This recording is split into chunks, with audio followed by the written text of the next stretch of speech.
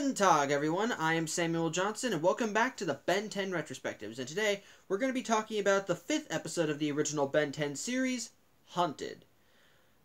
In in this episode, pretty much in this episode, we get the next appearance of Vilgax. Only in this episode, and like well, like in the last episode, he's trying to get the Omnitrix. Except now, instead of sending robots, he's going to be he sends he want he hires three bounty hunters that to try and get to try and get the Omnitrix.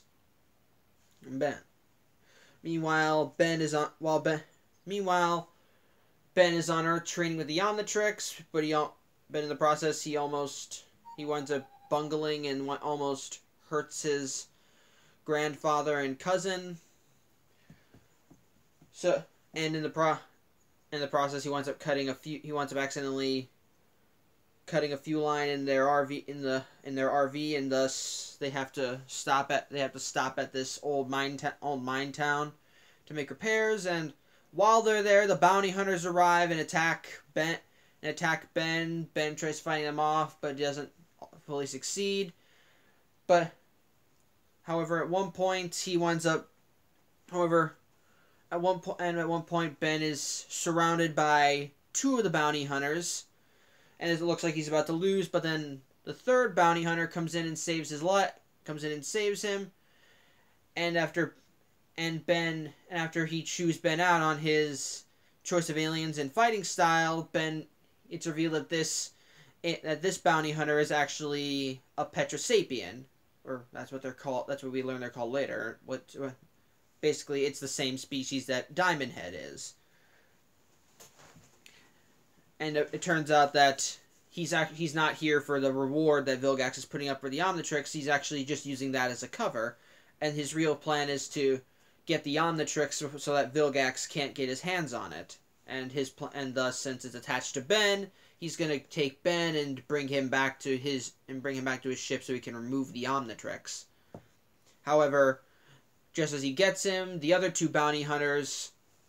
Okay, capture Gwen and Max, capture Ben's cousin Gwen and his grandfather, and thus Max and thus Ben wants to save them, but Tetrax says no, uh, we no, we can't do that. You just be, you just be, you would easily be defeated, and so Tetrax goes out to fight them because they also have his hoverboard, which he says he needs to get off of Earth.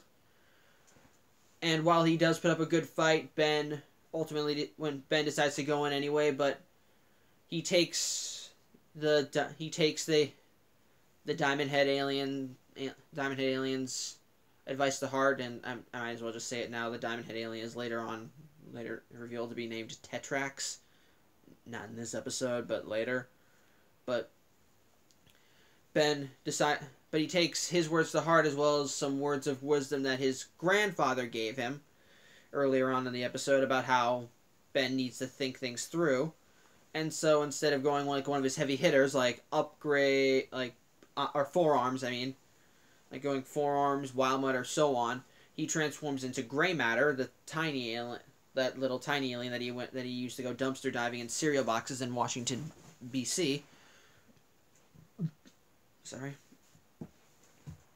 And while it looks like it might not be able to fight off the bounty hunters, Ben is actually able to get onto them easily because he's small and sabotage their armor or I think in one of them in the case of one of them I think that might be what he really is and he manages to subdue them and so Tetrax takes them takes the two these two into custody and decides to let Ben and decides to let Ben keep the Omnitrix for now and honestly I kind of I'm kind of confused by that but in return he lets Ben he decides to let Ben keep his hoverboard because he lied about needing it to get off the planet, and he just teleports off into where, wherever his ship is, and Vilgax vows that he'll that he's gonna get back that he's gonna get the Omnitrix someday.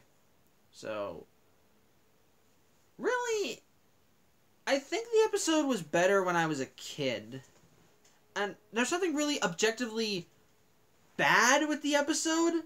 I think it does work as a whole like I think because I do kind of like that Ben has to that Ben has to learn to think strategically as a superhero because a constant theme, a constant thing in the series is that Ben is immature. He likes well Ben. Uh, sorry, Ben is a very immature superhero, which makes sense. He's ten years old. He likes having fun, and one of and part of the reason he even does the superhero thing is because he just ha- is because he is because he likes having fun with it.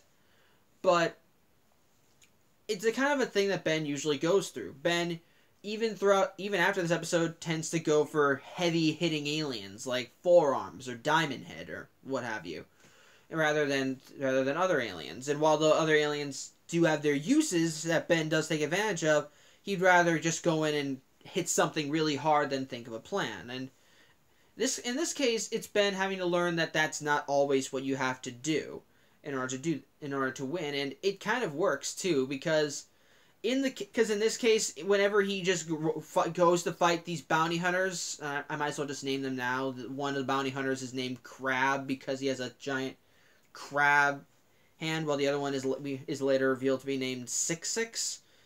But when he when he is confronted by one of the bounty hunters Kraab earlier or and is confront and is double teamed by SixSix and Kraab. He gets his, he well, he do, he tries going in guns blazing, fighting, but he keeps getting his butt handed to him, and eventually, when Tetrax finds him, Tetrax kind of calls him out on this, and Tetra and and at the time, and here's the thing: at the at the time of the scene, Ben is Diamond Head, so Tetrax is not only criticizing him for his lack of strategy and all and so forth, but also with the fact that he has this alien at his disposal, but he doesn't think things through with him at all. He just decides that uh, he just thinks that he could, eh, as long as he has this brute strength, he can do whatever. And Tetrax calls him out on that. And I think what also is nice is I I, I kind of I like the design, and it it really does work. And I do kind of I do like the payoff that Ben. The, the alien that Ben uses to actually defeat the bounty hunters is not one of his heavy hitters, but is instead the small alien that is kind of only useful in select situations. And honestly, this is actually one of the select situations, and it kind of shows more of what gray what this alien gray matter is capable of, because as the name implies, while he is gr- small, while he is gray, he's also rather smart. Ben no ben, when Ben transformed into him, he meant he managed to use him to disable the bounty hunter's weapons and abilities. Though I think in Kraab's case, all of that was his body, but that's just me thinking. But it actually is nice because it shows him thinking strategically and uh, uh, thinking strategically and working through it. But to be honest, I and well, actually, hold on. I'm still I, I still I and I do kind of also let. Sorry, I, I think there's also more I can say. Also, kind of like how there's and, and it kind of works that Tetrax is one of the people that that tells Ben the lesson of you need to think things through, because his grandfather said the same thing early in the episode, but Tetrax throughout constantly throughout the episode puts this into practice because when he comes to Earth, the first thing he does is try investigating, and even when Ben does fight the bounty hunters, Tetrax is there, but he never confronts Ben. Uh, but he never confronts Ben. He just kind of sits on the sidelines and watches, and thus, when he finally does confront Ben, get and gets him away from the other from SixSix and Kraab, and thus is that, and starts criticizing him all that. It's stuff. It's pre, it's based on his observations, so it makes sense. But honestly, I think, and well, actually, I might as well just talk about the designs of these guys. I think, I, well, I, I think they're all well, well designed and they're all really good fight. And I think they're all kind of nice and in, in all their own specific strengths. Like Kraab is an, Kraab is kind of a techno whiz, but is is kind of a techno whiz, but also kind of good in strength. SixSix is the alien that ne- is the bounty hunter that never speaks a word of English. He always speaks in his native tongue, and yet all every other alien seems to understand him. But he's got all these weapons at his disposal, and again, Tetrax is the guy that sits back and waits until for the right moment to strike. But, but honestly, I, I, I might as well just finally get to what I didn't like about the episode because I keep almost getting to that and then just talking about something else I like. Honestly, what I don't like, ironically, is the end. Is just kind of the resolution. Like I do, I do like that Ben. Like well, because here's the, I've said that Ben does kind of that uh, part of the Ben's character is that he does kind of go in guns blazing, damn the consequences. And while that's not always the case, because Ben does, because Ben doesn't doesn't always just have that mindset. Ben kind of is all. It's not a. It's not a lesson that kind of reverberates throughout the rest of the series. If that's the right word. Like Ben, cause, and well, because while Ben does think things through most of the time, usually his go-to alien is always the strong guy, like Four Arms, heat blast, diamond head, etc. And in this episode, while it does have him think strategically, it doesn't. He doesn't really continue to do that throughout the rest of the series.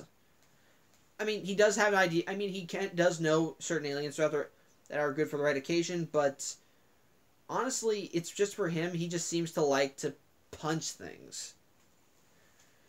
So while the lesson is a good lesson, it doesn't really stick throughout the rest of the series. And on top of that, I kind of think the resolution with Tetrax kind of felt forced because Tetrax admittedly is actually a very nice character. I do like that he is that he is contemplative and sits back and waits, as I have said before in this video. But but he seems to be rather convinced that Ben is a use is worthy of the Omnitrix rather quickly, even though all every time he looked at Ben before, and even when they finally confronted each other, he was very critical of him. Thought that, and he thought that maybe the Omnitrix should have been wound up on the wrist of someone else. And yet, and the, it seems that the only thing that it takes to convince Tetrax that Ben is worthy of the Omnitrix is Ben using gray is using a gray using gray matter to defeat SixSix and Kraab. So on, which kind of which just kind of feels dumb if you ask me. I mean, you could probably make the excuse that he sees potential in Ben and that there is room for growth and that that's what he's and that's what he's hoping will happen, but it's never really clarified and it just kind of feels like no, because it feels because I okay I know they shouldn't they can't get rid of Ben they can't just take Ben to space or have him remove the Omnitrix because then you kind of get rid of the premise of the show Ben traveling around the country saving people with that thing but at the same time it just felt like that they that Tetrax kind of gave it that Tetrax Tetrax accepted him way too easily that because because he did actually have legitimate points on Ben and while I'm not saying that Ben is a complete moron I don't think those. I think those points could still stand. It's just that Ben just did take his words to heart. I'm. I'm. I'm maybe I'm. Maybe I'm thinking that. May, I'm thinking that maybe Tetrax thinks that there is room for him to grow, and thus he decides, you know what, I'm gonna let this guy keep it because he's obviously got a good heart. He wants to help people, so I might as well. And he actually can think strategically, so maybe I'll give him a shot. But I don't know. That's I just I just think it felt a little forced. So that yeah. But on the whole, I, I well I don't well I don't well, I don't enjoy Hunted as this episode as much as I did when I was younger. I do think it's objectively still rather good. It's not. It, I don't. I wouldn't. It's not really on my top ten or top five, on my top ten list of favorite episodes, but I still think it's a rather fine. Ep- I still think it's rather good with the end with I think the bounty hunters look nice. The action, of course, again is nice. We see more what Ben can do with his aliens, specifically Diamond Head and Gray Matter and I, I do like the le- I do and I I rather and I do like the lesson that you can that while you can always that you can still fight there's you still need to think of a plan and think things through so yeah I think it's I think that this is a rather good episode but it's not really one that I it's a good but it's not really on my favorites list so yeah that's pretty much it so Thank you all for watching. I hope you enjoyed this and tune in next week as we look at the sixth episode of the original Ben 10 series and the first episode of Ben 10 that I actually watched as a kid. So, yeah. Thank you all for watching. I hope you enjoyed it and I'll see you next week. Take care.